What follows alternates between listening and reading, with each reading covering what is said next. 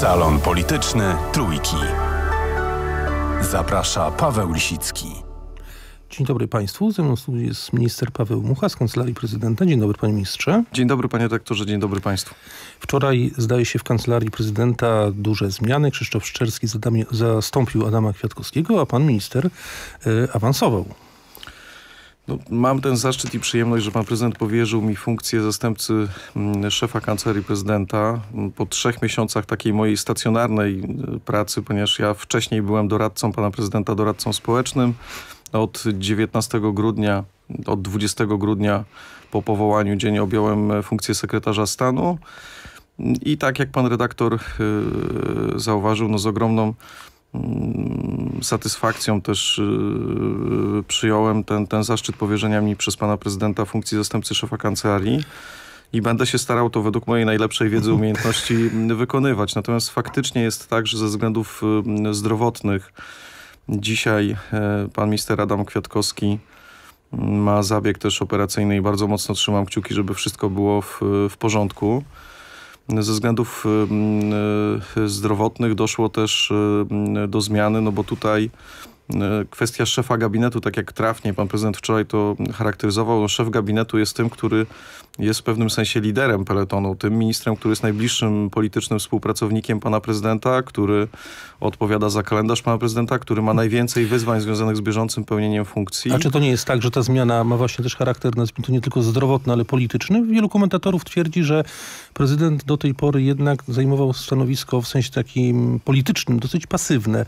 Może, może, może to jednak chodzi chodzi o to, że prezydent chce przejść do jakiejś ofensywy politycznej. E, o, oczywiście, oczywiście jest tak, że e, z powodów chorobowych pan minister Adam Kwiatkowski no nie mógłby teraz wykonywać swoich obowiązków, a w tym tak wrażliwym miejscu, jakim jest e, gabinet, no, no nie sposób było przyjąć, że będzie wakat, nie, nieobsadzenie czy brak, brak możliwości działania. Natomiast tak jak pan redaktor pyta, to na pewno jest też kontekst związany z z tym, że po 20 mniej więcej miesiącach, bo zaraz będziemy mieli mm, sytuację tego, tego rodzaju jutro, że mamy jedną trzecią kadencji pana prezydenta. Mhm. Pan prezydent też y, na bieżąco monitoruje, tak, ocenia pracę swoich y, ministrów i y, na pewno to jest wynik także pozytywnej oceny pana ministra Szczerskiego i chęci Mm, pewnego zdynamizowania pracy kancelarii we wszystkich wymiarach, tak? I także w zakresie polityki mm, e, krajowej i takiej mocnej mm, e, mocnej e, działalności. Natomiast no, minister Adam Kwiatkowski, ponieważ faktycznie ma te problemy zdrowotne i, i to jest tak, że ten kontekst no, jest wyraźny teraz i rehabilitacji, i kwestii powrotu, bo to są jeszcze konsekwencje i wypadku, i zdarzenia sprzed ponad mhm. roku i, i, i poważnych tutaj konsekwencji, więc Minister Szczeski z pełnym zapałem, w pełni sił yy, ruszy, do walki. ruszy do walki, angażuje się. Natomiast pan minister Adam Kwiatkowski zostaje oczywiście w składzie Kancelarii Prezydenta, funkcjonuje. Spodziewamy się jego powrotu i będzie pełnił swoje obowiązki jako sekretarz stanu i na pewno jest bardzo też cennym elementem, jeżeli chodzi o funkcjonowanie kancelarii. Zobaczymy, na czym to zdynamizowanie polega w najbliższej przyszłości. Dwa dni, przed dwoma dniami odbyła się konferencja prokuratury yy, dotycząca Smoleńska i tam prokuratorzy zmienili kwalifikację czynu, który wcześniej był zarzucany kontrolerom rosyjskim na wieży w Smoleńsku, y, oskarżając ich o umyślne spowodowanie mm, katastrofy. Czy Kancelaria Prezydenta też ma jakieś y, inne niż wszyscy informacje na temat tego, co mogli odczytać y, prokuratorzy? Czy państwo się opierają na powszechnie dostępnej wiedzy? No, my nie jesteśmy mm, stroną tego postępowania, czyli nie mamy takiej wiedzy bezpośrednio, jeżeli chodzi o dostęp do, do akt y, procesowych. To postępowanie jest na etapie mm, śledztwa, tak, więc to ciągle jest tak, gestorem tego postępowania jest y, prokuratura i tutaj prokuratorzy oczywiście są najbardziej kompetentni, żeby się wypowiadać, jak oceniają dany materiał e, dowodowy, jakie z niego wyciągają wnioski. Czyli państwo I... nie mają żadnej innej wiedzy niż ta, którą mają wszyscy obywatele. Tak? Ja się mogę wypowiadać za, e, za siebie, że ja mhm. tej wiedzy nie mam ponadstandardowej i nie wydaje mi się, żeby w jakimkolwiek zakresie miała ją e, kancelaria prezydenta. Poza tym, że oczywiście i pan prezydent oczekuje wyjaśnienia sprawy katastrofy smoleńskiej i był związany i wiele osób w Kancelarii Prezydenta związane były z osobami, które w Smoleńsku e, zginęły. Ja uważam, że to jest jedno w ogóle z najważniejszych śledztw w dziejach Rzeczypospolitej. I sprawę na pewno trzeba mm, wyjaśnić. Bardzo dobrze, że zespół, który został po, powołany w prokuraturze mm, teraz bardzo dynamicznie się zabrał za, za wyjaśnianie tych okoliczności, bo przez wiele miesięcy w tym śledztwie działy się rzeczy niezrozumiałe dla mnie także jako dla osoby, która wykonywała do niedawna zawód y, adwokata. I A na przykład kwestie, co było takiego y, zaskakującego? No, wszystkie kwestie, które dzisiaj są także podnoszone w toku ekshumacji i później y, procedury związanej z sekcjami zwłok, wszystkich tych omyłek po tym, jak były zapewnienia związane z tym, że to śledztwo było prowadzone rzetelnie od samego początku. Mhm. Pewne rzeczy były prowadzone w ogóle nie we właściwy sposób. Jeżeli chodzi o kwestie zarzutów dzisiaj mm, formułowanych, no to tak jak mówię, tutaj prokuratura ma pełną wiedzę na temat tego materiału dowodowego, który pewnie no, no nie jest znany w 100% i omawiany, no bo to jest specyfika śledztwa, że się pewnych rzeczy nie, nie, nie ujawnia. Dopiero na etapie postępowania sądowego są pełne możliwości no tak, mamy, mamy, rzeczywiście, mamy mhm. rzeczywiście ograniczoną wiedzę na ten temat, więc może zajmiemy się sprawą, o której wiemy na pewno więcej. Projekt e, przygotowywany przez Ministerstwo Sprawiedliwości, projekt zmian dotyczących Krajowej Rady Sądownictwa. Dzisiaj w Sejmie pierwsze czytanie. No i ten projekt budzi dosyć ostry sprzeciw różnych organizacji, grup obrońców praw człowieka. Protestowało OBWE, protestował Rzecznik Praw Obywatelskich i cała e, masa innych specjalistów. Również Biuro Legislacyjne Sejmu skrytykowało ten projekt. Te dwie najbardziej kontrowersyjne rzeczy. Pierwsza dotyczy kwestii sposobu wyboru sędziów do Krajowej Rady, tych, tych 15 sędziów do Krajowej Rady Sądownictwa, do tej jednej z izb, e, która ma kontrolować czy pilnować niezależności sędziowskiej, a druga kwestia dotyczy e, wygaszania e, mandatów obecnych członków Krajowej Rady po 30 dniach. Może ta pierwsza kwestia. Czy tutaj Kancelaria Prezydenta nie widzi jakichś problemów związanych z niezależnością My jesteśmy na, na wstępnym etapie, bo według mojej wiedzy bodaj do pierwszego czytania dzisiaj ma być projekt rządowy kierowany w Sejmie. Mamy też drugi projekt złożony także do prac mm, sejmowych. Oczywiście, że się interesujemy projektami, które są e, w toku, ale to jest e, wczesny etap prac legislacyjnych, nie jeszcze etap decyzji pana, mm, pana prezydenta. Oczywiście, że się interesujemy tym, co się dzieje wokół Krajowej Rady Sądownictwa, dlatego że to jest tak, że to jest współdziałanie Krajowej Rady Sądownictwa i pana prezydenta, jeżeli chodzi o powoływanie sędziów, to wynika wprost y, z konstytucji. Ja bym powiedział, że ta krytyka, mm, która się y, pojawia y, projektów rządowych, no w niektórych sferach jest zbyt daleko idąca. Ona się Ale bierze... Weźmy, weźmy konkretne rzeczy. Krytykowany jest pomysł, żeby 15 sędziów, którzy będą stanowili jedną z izb w Krajowej Radzie Sądownictwa, było wybieranych przez Sejm.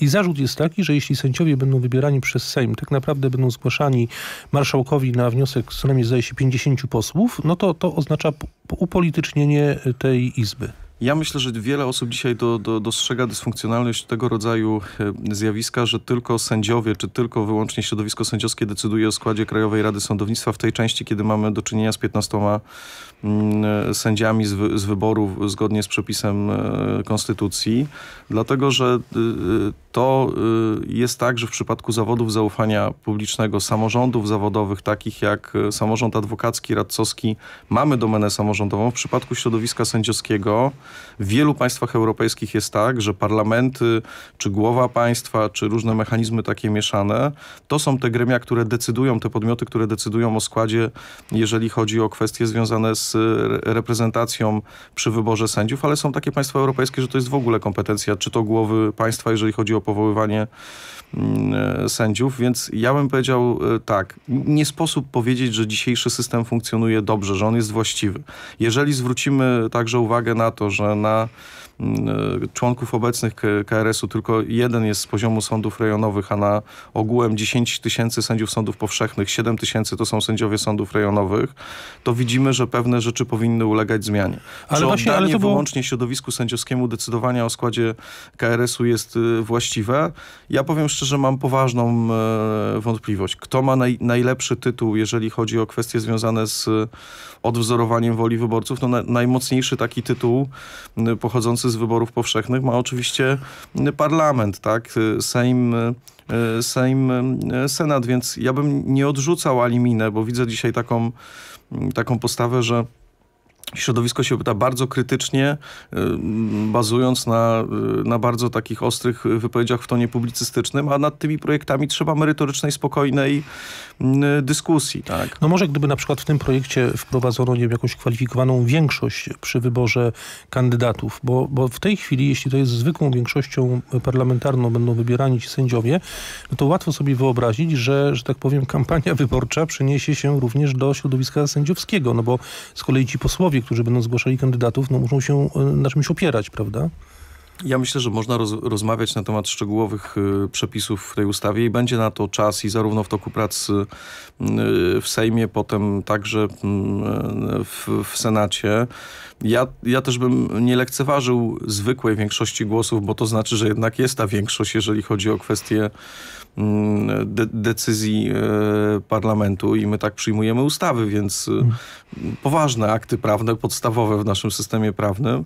Natomiast oczywiście, że można rozmawiać o jakichś e, zmianach, modyfikacjach. Ja nie sądzę, żeby ministerstwo się zamykało na dyskusję. Zresztą najlepszym dowodem tego, że się nie zamyka jest to, że pewne modyfikacje w tych projektach, także na skutek pewnych wypowiedzi przestrzeni publicznej, one się pojawiały, tak, od momentu ujawnienia projektu przez skierowanie do prac sejmowych i ja myślę, że głosy, które są bardzo poważne, także mm, głosy, które idą ze strony także przedstawiciela pana prezydenta w, w Krajowej Radzie Sądownictwa, który także się wypowiadał mm, w, w, sprawach pewnych wątpliwości, które są związane z konkretnym projektem e, rządowym, one powinny być przez ministerstwo rozważane, będą rozważane także w toku prac y, sejmowych i trzeba ten projekt udoskonalić. Ale w ramach A to, że reforma jest potrzebna, ramach, to nie ulega wątpliwości. W ramach udoskonalenia, Polacy oczekują reformy wymiaru sprawiedliwości. W ramach udoskonalenia, czy myśli pan minister, że dobrym pomysłem jest wprowadzenie tej zasady, y, że w momencie wejścia ustawy po 30 dniach zostaną wygaszone mandaty tych członków Krajowej Rady, tych sędziów, którzy w niej są. Konstytucja mówi wyraźnie, że kadencja trwa 4 lata. Ustawa wprowadza wygaszenie po 30 dniach. Wydaje się tak na bez wielkiej e, głębokiej analizy i 50 ekspertyzm, że mamy tutaj do czynienia ze sprzecznością. Panie rektorze, ja nie chciałbym się wypowiadać w takich kategoriach bardzo yy, rozstrzygających. Nie mam tego rodzaju kompetencji, ale mogę ale powiedzieć, tak, jaki jest mój pogląd, o, właśnie, czy jakie jest moje, moje zdanie, czy jaka jest moja o, opinia. No, powiem, że mój prywatny pogląd jako, jako Pawła Muchy jest taki, że faktycznie y, może to budzić wątpliwości natury konstytucyjnej czy, czy jest dopuszczalne poprzez wprowadzenie przepisu rangi ustawowej, ingerowanie w bieg kadencji, mm, który jest określony treścią przepisu konstytucji i mamy do czynienia tutaj y, z tego rodzaju sytuacją, że skutkiem wejścia w życie ustawy zwykłej miałoby być wygaszenie mm, kadencji członków Krajowej Rady Sądownictwa, których kadencja jako konstytucyjna jest określona na czteroletnią. Ja mam co do tego poważne e, wątpliwości, ale myślę, że po to właśnie procedujemy w Sejmie. Mamy pierwsze, drugie, trzecie czytanie. Mamy możliwość e, wypowiedzi, dyskusji także z ekspertami, z fachowcami, żeby tego rodzaju wątpliwości wyjaśniać, usuwać i, i, i, jestem przekonany, że ta dyskusja będzie się toczyła, no bo tak jak mówię, te prace I wtedy startują. rozumiem, że z, z, taka zmiana może pańskim zdaniem nastąpić. No pewnie nikt tego nie jest w stanie dzisiaj wykluczyć, że taka zmiana może na, nastąpić. Czyli to wycofanie jest, się z tego pomysłu. Ja myślę, że wiele, wiele osób w debacie publicznej e, tę wątpliwość, którą pan redaktor tutaj podniósł, także już podnosiło i te głosy są ze, ze środowisk różnych, eksperckich, fachowych, że no to jest chyba taka rzecz, która no faktycznie może być przedmiotem kontrowersji. Musimy kończyć. Bardzo dziękuję. Moim gościem był Paweł Mucha, minister z Kancelarii Prezydenta. Dziękuję, dziękuję bardzo. bardzo miłego dnia.